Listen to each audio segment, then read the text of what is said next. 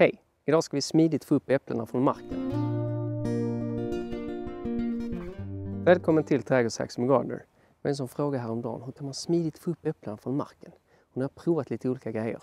Det här har jag kommit fram till. En sån här kratta, eller räfsa, den liksom tappar äpplena hela tiden. Hamnar ovanför dem.